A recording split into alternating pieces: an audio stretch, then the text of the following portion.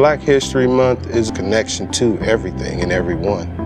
We have to always work hard and harder at making connection with people.